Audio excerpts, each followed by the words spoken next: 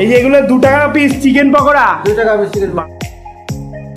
পয়সা না থাকলে আমি দেবো। পয়সা না দাও? দাও আজকে কাঁচরাপাড়াতে চলে এসেছি মাত্র দু টাকায় চিকেন পকোড়া ট্রাই করতে। এছাড়াও এখানে ভেজ পকোড়া পাওয়া যাচ্ছে মাত্র এক টাকায়। কীভাবে এত কম দামে দিতে পারছে?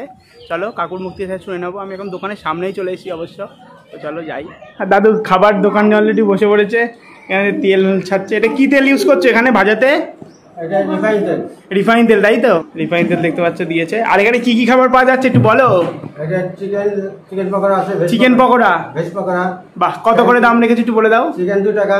দু টাকা চিকেন পকোড়া। আছে নাকি এখানে এখন চিকেন পকোড়া?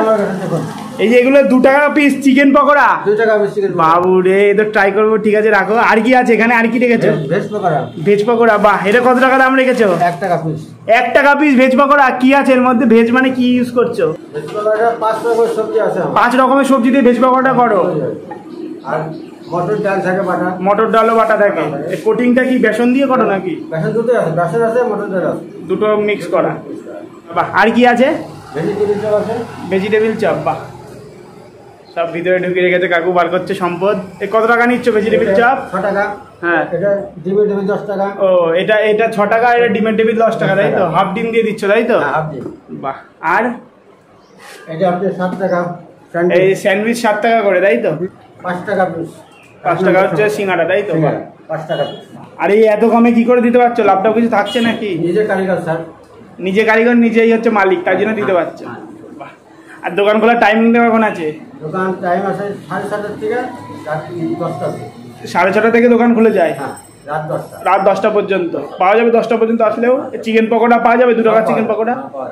আর দোকান কোথায় একটু বলে দাও। আমাদের লোকনাথ মন্দির ক্ষুদিরাম মন্দির। লোকনাথ মন্দির ক্ষুদিরাম বলি। বাগদিপাড়া রোড। কেউ হ্যাঁ হ্যাঁ, ওখান থেকে একজন কালেকশন করছে দাদু বলছে সড়কপল্লী। সড়কপল্লী এটা? সড়কপল্লী। তো এবার তুমি বলে দাও কে যদি কাঁচরাপাড়া স্টেশন থেকে আসতে চায় কীভাবে আসবে? কাস্টমার এক নম্বর স্টেশনে নামবেন নামার পরে টোটো অটোওয়ালাকে বলবেন লোকনাথ মন্দির যাব। লোকনাথ মন্দির বাগদিপাড়া। সড়কপল্লী। বললেই চিনিয়ে দেবে। তারপর চিনে নাও তোমরা। এদিকে হলো কাঁচরাপাড়া স্টেশন থেকে তোমরা চলে আসতে পারবা। কাঁচরাপাড়া স্টেশন থেকে এটা কত গো? দু তিন কিলোমিটার হবে? হ্যাঁ, হ্যাঁ। এ দাদু ভালো জানো দাদুকে জিজ্ঞেস করছি। এই হ্যাঁ। জায়গাটা তুমি একবার ভালো করে বলে দাও। কাস্টমারা শরৎপল্লী বাগদিপাড়া রোড। কেউ যদি আসতে চাই কীভাবে আসবে একটু বলে দাও। বলে আবার লোকনাথ মন্দির যাব।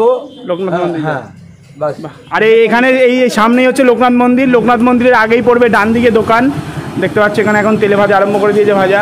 তাই তো? জেঠি তুমি কেমন আছো? তুমি তো দোকানে মেন হেড তাই তো? আর ওটা কর্তা তোমার নাকি? তোমার নাম কি একটু বলে দাও। আমার নাম পদ্মরানী দাস। বাহ আর দোকান প্রত্যেক দিন খোলা নাকি? রোজ দিন খোলা। প্রত্যেক দিন খোলা দোকান বাহ। আগে আগের থেকে কাস্টমার বললে দেবে। আগের থেকে ভাজো না কাস্টমার বলে তারপর গরম গরম সার্ভ করো তাই তো? বাহ।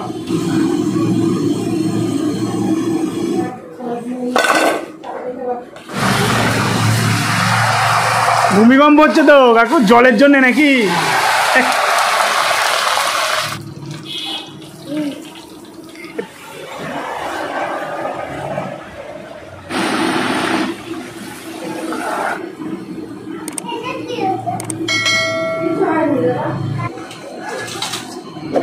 ডিমের টেবিল এবার তাই তো?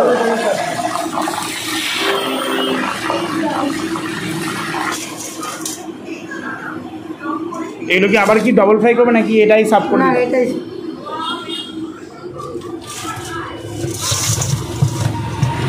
এটা কি এটা কি?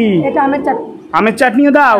বাহ। হ্যাঁ এটা আমার দেখি বাড়িতেই করা। নাকি? হ্যাঁ এটা আমার নিজের হাতে করা। বাহ এটা আমি প্রথমে দূর থেকে ভেবেছিলাম আদা দেখে মানে। না না। এটা কি ওই মানে পকোড়ার সঙ্গে দাও তাই না? হ্যাঁ হ্যাঁ সব কিছুর সাথেই দেখ বাহ। এবার ভেজ পকোড়া তাই তো? হ্যাঁ ভেজ। বাহ। আমার এক নম্বর ভেজ। তোমার এক নম্বর এটা এটাই সব থেকে বেশি চলে নাকি? ভেজ আমার। বাহ বিস্কুট ছাড়া সেরা ভেজ বাহ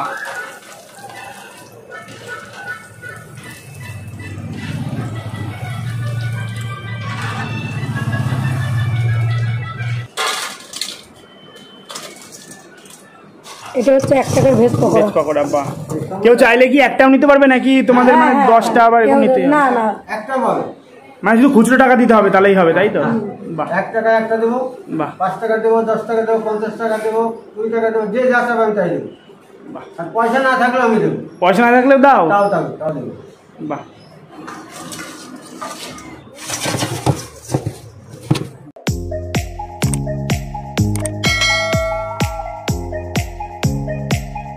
সব খাবার তুলে নিয়ে চলে এসেছি তাই তো? এখন একটা বাকি আছে। এখন একটা বাকি আছে। হ্যাঁ। এখনও শেষ হয়নি খাবার। তো যাই হোক যা খাবার আছে এই খাবারই মনে হচ্ছে সব খেতে পারব না। খাবারগুলো সব দেখিয়েছি কিন্তু সব খেতে পারিনি। তাহলে এগুলো খাও। ঠিক আছে যেটি যখন বলছে তাহলে এই কটা খাবার খাই। প্রথমে খাব ভেজ পকোড়া। দেখতে পাচ্ছ এরকম সাইজ এক একটা এক টাকা দাম। কাকু আবার বলছে কারও কাছে যদি টাকা না থাকে তাকে তুমি এমনিতেই দিবা নাকি? হ্যাঁ, হ্যাঁ, বাহ। আর দেখতে পাচ্ছ এই যে ভেজ পকোড়া হালকার উপর জাস্ট ধরছে দেখতে পাচ্ছ খুলে খুলে চলে আসলো ভেঙে চুরে একদম মুচমুচে। বেশ ভালো লাগছে কিন্তু টেবিলে বসে খাও। কাকে বলছে আবার টেবিলে বসে খাব? দাঁড়িয়ে দাঁড়িয়ে খাচ্ছি আমার অভ্যাস হয়ে গেছে দাঁড়িয়ে দাঁড়িয়ে খাওয়া। তো খেতে বেশ ভালো লাগছে কিন্তু গলা ইটকে যাচ্ছে। আমার মানে এর জন্য মানে চাটনিটা দিয়েছ নাকি? হ্যাঁ চাটনি দিয়েছি। তো চলো এবার চাটনি দিয়েও ট্রাই করি। চাটনি দিয়েছে। এখানে আমের চাটনি দিয়েছে। যেটি আমের চাটনি দিয়ে টেস্ট করে দেখি। চাটনি দিয়ে এবার বেশি ভালো লাগবে। আর এর সঙ্গে হলো স্যালাড ঠান্ডা স্যালাড মুখের মধ্যে দিচ্ছে কলা জুড়িয়ে যাচ্ছে। এবার হচ্ছে ভেজিটেবিল চপ এটা হচ্ছে ছ টাকা নাকি? হ্যাঁ ছ টাকা। দেখতে পাচ্ছ। তো ভেঙে দেখি কেমন হয়েছে। খুব মুচমুচে হয়েছে একবারে। ও ভিতরে বিট গাজর দিয়ে একবারে লাল লাল করে ফেলেছে। একবারে দেখতে পাচ্ছ কীরকম লাল হয়ে গেছে।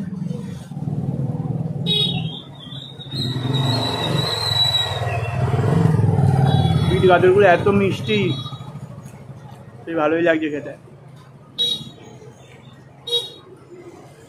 আর এরপর হলো চিকেন পকোড়া, এক একটা পিস চিকেন পকোড়া দেখতে পাচ্ছ এরকম।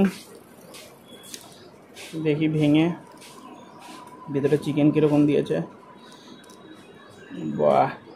দেখতে পাচ্ছ সলিড চিকেন দিয়ে দিয়েছে। এটা কি একটা পুরো চিকেন এরকম করে মানে পকোড়া মতন বেসনে দিয়ে দিয়ে দাও হ্যাঁ, হ্যাঁ, ভিতরে আলাদা কিছু দাও না নাকি? না ওর ভেতরে আর কি বেসনের ভেতরে আর কি পেঁয়াজ পেঁয়াজ এগুলো যা মশলা যেটা দেওয়ার হুম। সেটা আমি দিয়েই করি। শুধু শুধু বেশ ভালোই লাগছে কিন্তু নুনটা একটু কম লাগছে। এর জন্য মনে হয় চাটনি দিয়ে খেতে হবে তাই না? এগুলো চাটনি দিয়ে না হ্যাঁ, খেলে মনে হয় ভালো লাগবে চাটনি বিট লবণ দিয়ে খেতে ভালো চলো চাটনি দিয়েও টেস্ট করি। টেস্ট করি। এই চাটনি। কেন সবাই চিকেন পেয়েছি দেখতে পাচ্ছ একদম সলিড চিকেন পুরো। এই যেটা পুরোটুকুনি সলিড চিকেন আর এরপর ডিমের টেবিলটা দেখতে পাচ্ছ? আমার ডিমের টেবিলটা দেখে এত লোভ লাগছে ডিমটা হালকার উপর দেখা যাচ্ছে। বেশ ভালো লাগছে দেখতে। ডিমটা এত নরম মুখে দিচ্ছি আর পুরো মেল্ট হয়ে যাচ্ছে। আর দেখতে পাচ্ছ এই যে হাফ তরকারি আছে আর হাফ হচ্ছে ডিমের কুসুম সমেত হাফ ডিম দেয়া। করি ডিমটা ডিম খেতে দারুণ লাগে। তো যাই হোক, খাবারটা, খাবার আরও আছে, সেগুলো খেয়ে তারপর ব্যাক করি আসছি। আসছি। ভালো লাগল বেশ। হ্যাঁ ঠিক আছে, টাটা। তো খাওয়া দাওয়া কমপ্লিট হয়ে গেলো। দু টাকায় চিকেন পকোড়াটা, তোমরা অবশ্যই এখানে ট্রাই করো। যদি কাঁচরাপাড়া এদিকে আসো। তো ব্লগটা এখানে এন্ড করছি পরবর্তী ব্লগে দেখা হবে। Tata bye